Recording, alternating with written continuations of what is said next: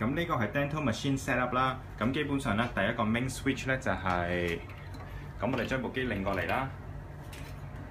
第一個 main switch 開關就喺呢一度開。第一部機着咗啦。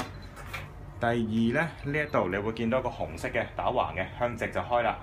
二咁第三咧，呢度有個 switch 就將佢扭過嚟呢邊啦，咁就開咗啦。仲有一個 last 就係個 coolant，咁 coolant 就將佢 coolant 位置將佢撻過去 on。